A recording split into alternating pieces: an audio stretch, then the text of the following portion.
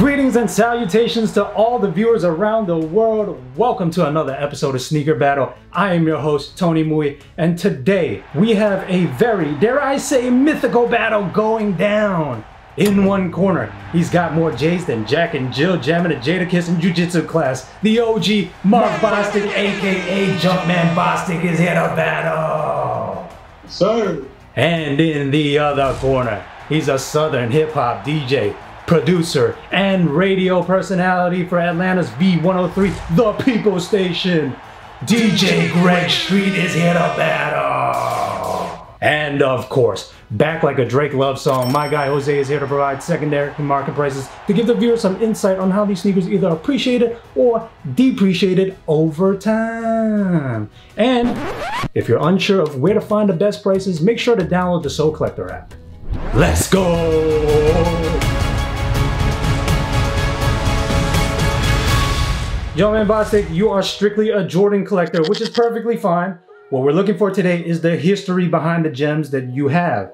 With that said, how do you think your Jordan collection stacks up against DJ Greg Street's collection? I don't know if I'm on that level, but we're gonna see. I'm here to battle. DJ Greg Street, when it comes to the Mount Rushmore of sneaker collections, there's four phases engraved on the side of the mountain, and then there's you at the summit. What can we expect from your sneaker collection? Just a little heat. You know, it's, it's probably about 100 degrees in Atlanta, so, but you know, Jumpman Bostic is the homie, so we about to have a good time. Gentlemen, the rules are simple. This is a five round bout. Each round will tackle a different category. Both battlers will show off their shoes at the same time from the count of three. And with that said, let us begin.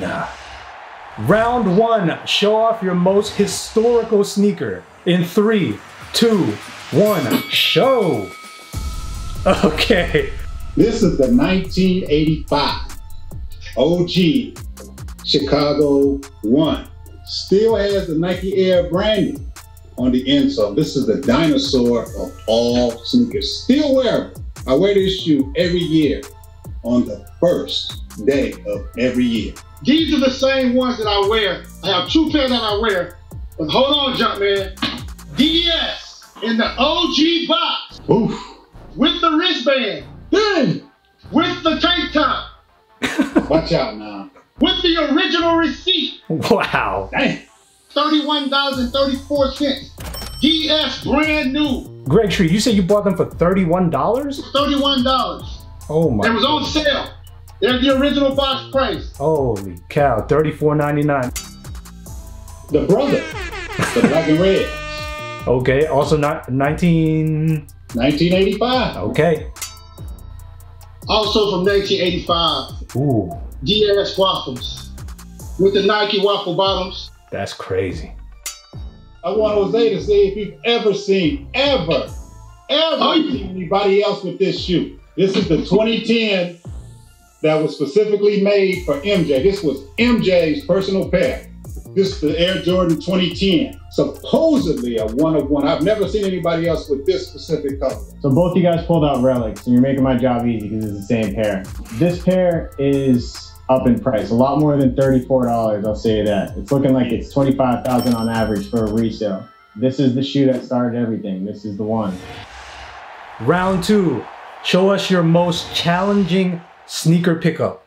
The most difficult sneaker for you to get. In three, two, one, show. Oh, Greg Street is so mysterious with just a box. Oh my goodness. Okay, are those the Eminem 4s?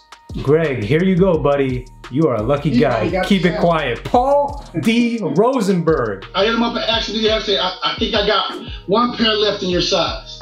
It was just that easy. Paul's a great guy. He's a good guy. Ray Allen 13. That was super challenging for me. I, I wasn't able to come across this shoe until Ray left and went to join Miami. And uh, the person that had this shoe hated him for that. And he knew that I was a Ray Allen fan and I was able to, you know, get this from him.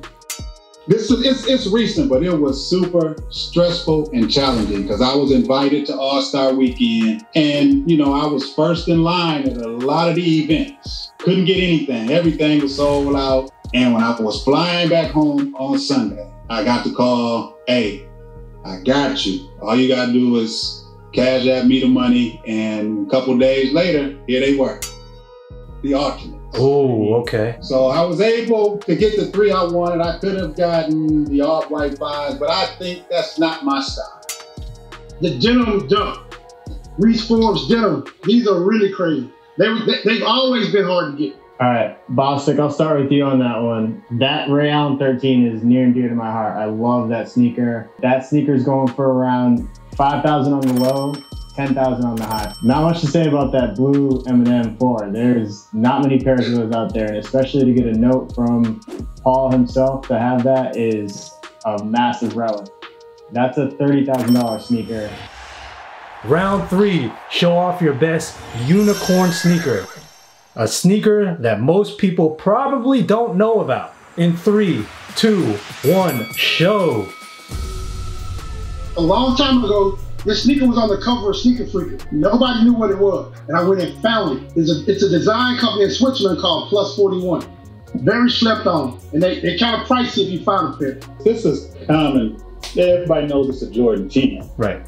But when you see that 32 on there, Ooh. I've, I've heard people say Will Perdue. I've heard people say Rip Hamilton, but it was somebody that was given the name that's supposed to be the next protege of Jordan. Came out of the West Coast College, played in Miami, won the dunk contest.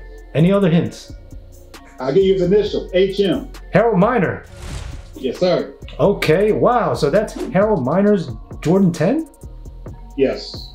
A hell, hellified dunker, and everybody thought he was going to be the next MJ, and they named, nicknamed him Baby Jordan. Cole Haan and Jordan collab on a boot. Couple different colorways. This is croc skin though. Shouts to Supreme, the homie Supreme. People don't know that the Wu Tang store was actually in Atlanta. It was on Peachtree Street in like, what, 96, 97, 98. Oh, okay. A little Coraline dunk action. Four line dunk. Oh, wow. You got the whole thing. Oh, some Kansas. It's called uh, FBI. An FBI Jordan? Jordan Team FBI. Okay, I'm gonna I'm gonna swing it over to Jose. Jose, talk to us. Greg Street, I'll start with you. That Air Max 1 Plus 41 is very hard to find. I'm not seeing any pairs for sale online. Nonetheless, this is a priceless sneaker. Bostic, your sneaker is another one that's hard to track down. PEs are not easy to come across. We all know that. Not seeing any for sale on here. Again, that's another priceless sneaker in my opinion.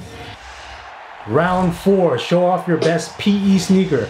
I know Jumpman Bostic just showed off the Harold Miners. I hope you have another one. In three, two, one, show! Greg Street, you're so secretive with the boxes. Why don't you start it off? Hold on, hold on. We need to rotate that, rotate that. MVP Mamba. Jordan 1 mid, is it? It's a big Nike Kobe MVP. I think it was the first MVP. It was a big Nike they made. They, they, they were real, very, very limited. Like you, you couldn't just find them. And there was a big thing. A, a young lady by the name of Sandra Rose had a website in Atlanta, and she knew I was in the sneakers, and she made a she had a challenge on her website. When the shoe came out, she posted it said, "I bet Greg Street can't get these." And I went and got two pair. But Polo the Jungle producer is like one of the biggest Kobe fans in, on planet Earth. And I got I got two pair, one for me and one for him. This is the, the Ray Allen 8. The home, back from that magical season, hmm. size 14. And I remember first time I held this held this shoe, not this particular shoe, Perfect Pair had it. And he I remember I went to an event in Oklahoma City and he brought his entire Ray Allen collection for me to look at. And I said, I- I'm gonna have this shoe one day. And like four, about four years later, five years later, I ended up getting it. Jay Z here and. LeBron James, Oh my Here God. you go. all black everything. All black, everything. You had Jay Z throwing up the rock sign on the tongue. You had LeBron James throwing up the rock. Mm. Bravo. There's some rare air here. Ooh. I know a lot of people don't like the 15s, but this is the Ray Allen Bucks. Ooh, 15. yes. I haven't seen too many people with these, period. This is the TS2 Terror Squad, Fred Jones, when he was with the New York Knicks. Oh, That was his number. He was, you know, with, with Fat Joe and all them. Fat Joe seen these and was like, no way. But the only thing that's different on his is the midsole was a different color. Oh, hmm. wait a minute. We've never seen those before, though. Hold on. This one is just the Jasper Low. And now I know Yachty showed his, right? Yes. Oh, He gonna be mad when he see this. You don't look the bottom, that's like licking the ass. You lick the tongue. is that the new motto now? We lick the tongues. lick the tongue. You lick the bottom, it's like licking the ass. That's the dunk championship shoe by Fred Jones. This is the new retro Air Jordan 2. They didn't know what they wanted to do, so they put the shroud on it. They was Jordan Brand was just coming up with stuff at this point. Bostic, I'll start with you. Those Sugar Ray 8s, that is a $10,000 sneaker. And definitely worth the trade for those UNC off-white ones. Those MVP Big Nike Kobe's, hard to find. Very close to being on the priceless edge because there's not many pairs for sale out there. The last pair I found that was for sale was around $2,200, but doesn't say the date when. We all know Kobe's are going up, so I'm guessing that sneaker is worth a lot more than what that price. is. All right, gentlemen, let's move on to the final round, round five. This round is called Battler's Choice. Whatever heat you want to use against your opponent, now is the time to do so. In three, two, one, show. Eddie Jones. Street showed off some signatures. There's Eddie Jones, name on the tongue, 13 from the Miami Heat. Colette Paris. Oh my goodness, I don't think we've ever seen those. Is there an official Colette name for that? It's called Heat. All right, that's what we're gonna put in the lower thirds. We're just gonna put. In my, in my, in my DJ Khaled voice. These are what we call heat, young man. Heat. Okay, Take Greg. it down. I see a little Paris action, a little pigeon action. Bostic got that trophy room action. I, I guess I'll just call out the shoes now, so you guys can just pe- keep picking them up. Both of them. Mhm. Family and the DI. Oh, wow, Greg Street. Just how many pigeons do you actually have? I have to sweep up uh, droplets every day. People wishing would retro. DJ Greg Street, do you know any French? I'm, I'm signing in French. Montana. Okay, I see some Oregon threes. You know what these are? Oh, Rip Hamilton twelves. Yes, sir. Oh, okay. Well, we get the nine. Okay. I like the ones that released. I know people are saying that, but you can look at the lace eyelets and see that they're not the same as the GI. Are And they- that leather pull tab in the back. Q Rich twos? Was that yes? Q Rich twos, right? Are those the Bapes? Bape Adidas? No, one of 100. Wow. Wow. Did they did they come as a pack? I got the rest of them. You got the tan, the camo, the black. The black, the black and the snake skin were the most limited. Okay. You got the 20s, Greg? This is crazy. What is that? The 20s? Is that the Seattle? The Seattle 20s?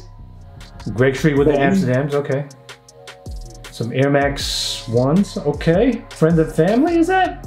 Now, They, they were they, they were they were a quick strike release. Okay.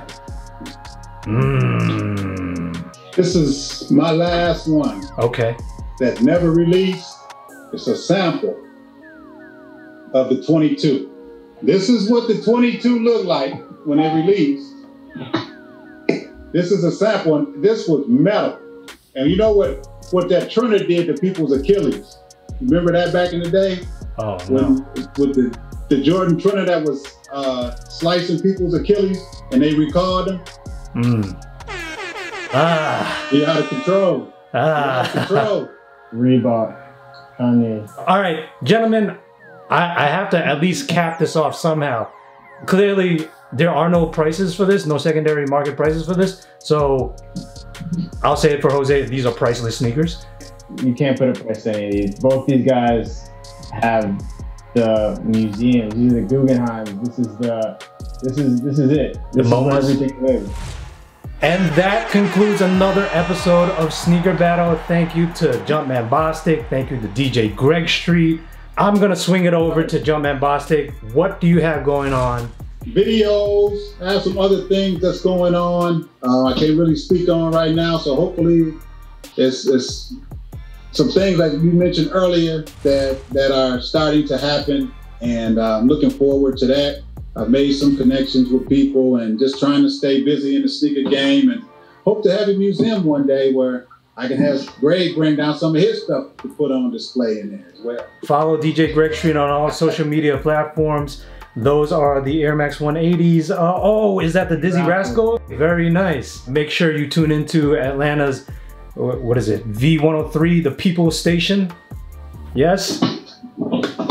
And uh, yeah, uh, make sure you leave in the, in the comments below who won this battle. And we'll see you on the next episode. Shout out to the Shady Vans.